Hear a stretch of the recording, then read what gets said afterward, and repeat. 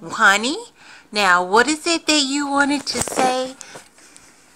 Tell me, tell your wife what is it that you wanted to say. I love you very much, and I know that I am very, very, very blessed to have you. Very, extremely blessed. And I was thankful to God. I know He answered my prayer. I remember the day I made the request. I got a book from Fred Price, and it says to says prayer for your mate. And I said a prayer for the perfect mate, and I kind of set the bar kind of high. And when I met you, it was higher than I even said it.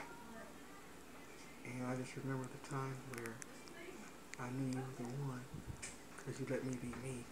And I know I'm extremely blessed to have you. And there's nothing, nothing in the world I would trade for you. Nothing at all. But one thing.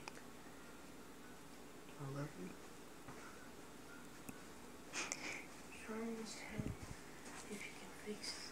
Tell me, what do I have to do in order to get what I want?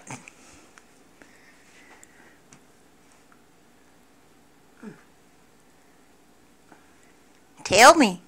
I want to know if it's still true. You don't know? You said if it's something that you really want, all you have to do is what? ask. That is not what you said.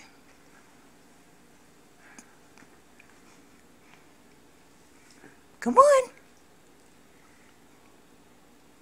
It's been eight years. It's going on nine years. Come on.